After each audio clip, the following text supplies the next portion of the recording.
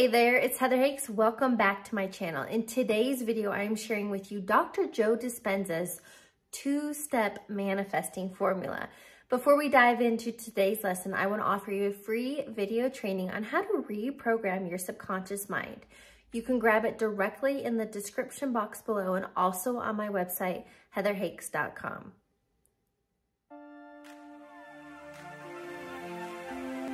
Today, I want to share with you Dr. Joe Dispenza's two-step manifesting formula. And I want to share with you how I learned about this and put it into play before I ever attended his week-long meditation retreat. Now, you may have heard about manifesting and law of attraction that like attracts like, and that is true. But I want to share it with you from a scientific standpoint and how quantum physics is teaching us how thoughts truly become things. So let's start at the very top. I love Nikola Tesla's quote. If you want to know the secrets of the universe, you have to think in terms of energy, frequency, and vibration. And here's what I want you to know about that. You are emanating and emitting a frequency and vibration based on two things, your thoughts and your emotions. How Dr. Joe Dispenza describes it is your thoughts are an electrical charge sending intentions out, and it's your emotions and feelings that are the magnetic force drawing experiences back to you. Now, what Dispenza teaches is you don't go anywhere to get the thing, that when you are thinking and feeling and I'm going to share this formula with you, things, serendipity, synchronicities, things just happen. And I'm, I'm going to give you real world examples on how I've put this into play. But what I want you to understand is from knowing that everything in our universe is energy and frequency. Although everything looks solid, it is truly 99.999% empty space and that all the matter and the things we see are 0.0001% actual physical matter. So from that lens alone, we are seeing less than 1% of reality. Now, what science teaches us is about the observer effect. Now, let me explain that to you so you understand how thoughts become things. Creation is already done. It's everything has already been created. So the fact that you have a desire, you, Dispenza calls them a new potential. The fact that you want a new potential, maybe it's money, an experience, travel, a relationship, business success. The fact that you desire it means it's already available to you, but it's up to you to match the frequency and vibration of that object, that experience, that person, that dollar amount. And I wanna share with you how to actually do that. Back to the observer effect. The observer effect simply states everything, frequency and vibration are waves, and not until we observe or put our attention onto that item, that potential, it then, through our observation, through our awareness, through our intention, literally collapses the wave function into a particle. So all that means for you is once you observe a potential, something that you want, and you match its frequency, it literally becomes matter and how it comes your way is none of your business. That's why the whole point in manifesting, you have to get clear on the what, but the how and the when are never your job.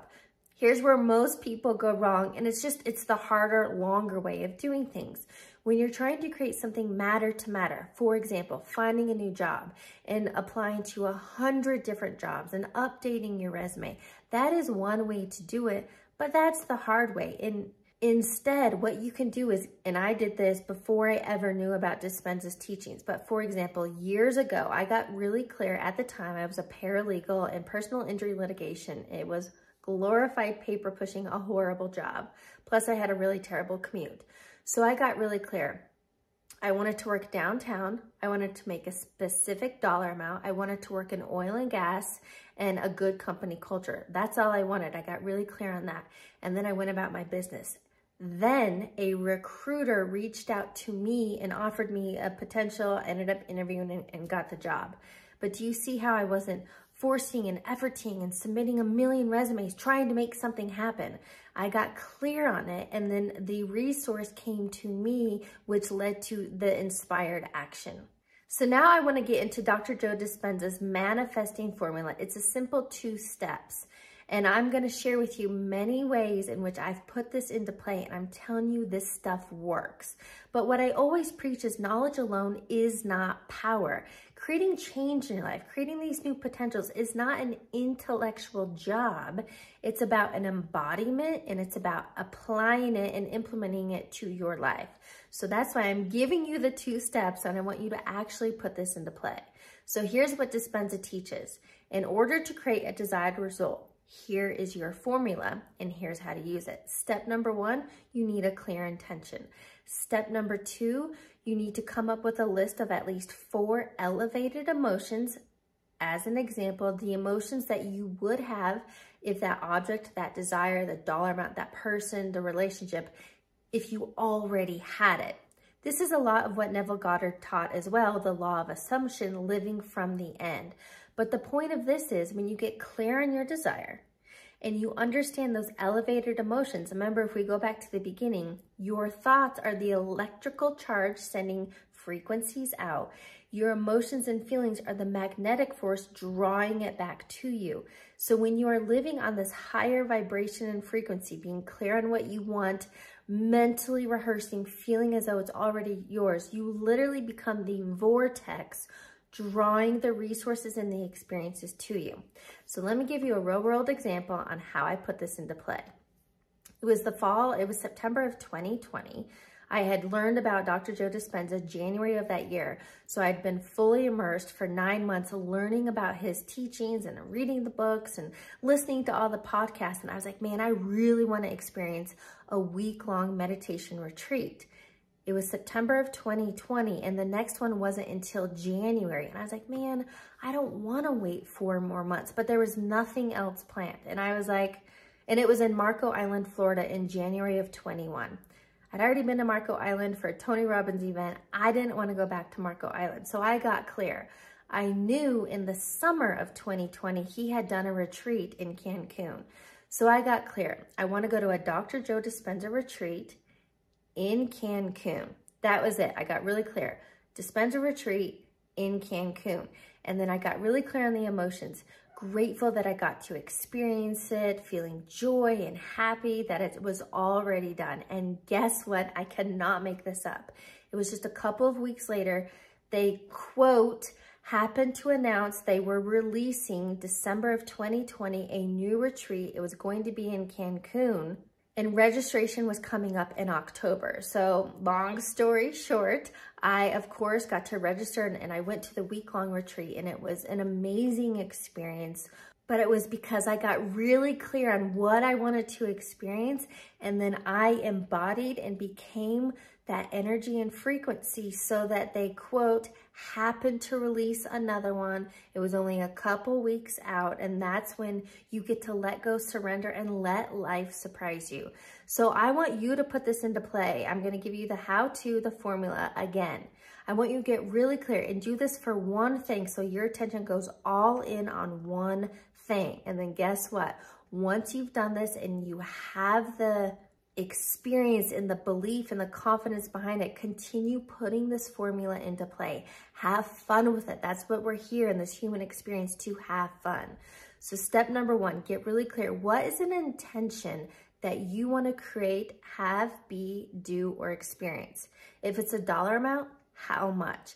If it's a relationship, then you can have sub intentions. Is it, you know, marriage material? You know, an active, healthy lifestyle, somebody that's mentally aligned, get really clear what is that. If, if it's a, a, a vacation, well, where do you want to go and for how long? So get really clear what is that desired result. Step number two, come up with at least four emotions you would feel if that experience or desire is already yours. And then what you do through mental rehearsal, you can do this in meditation throughout your day, morning and evening, is just practicing and, and visualizing and seeing it already done, being so clear, living it, creating that real world. Because guess what? Your mind does not know the difference between imagination and reality. And then let go. Let life surprise you. If you want to learn more about this at a deep dive level, I provide one-on-one coaching. Not only do I teach you manifesting, because that's the really fun things, but I really help you understand the mindset and the mental programming and creating the identity shift so you can step into what I call version 2.0. To learn more and schedule a free call, visit my website, heatherhakes.com. What I want to remind you of and leave you with is this. You can have, be, do, and experience anything you want in this lifetime. Your only job is to get rid of any of the blocks and obstacles that you are self-imposing and start having more fun in life. Remember, put this into play, the two steps, a clear intention, and those elevated emotions that it's already yours. Thanks for watching today's video. Make sure you subscribe to my channel so you're the first to know when new videos drop and give me a thumbs up. I'll catch you on the next one.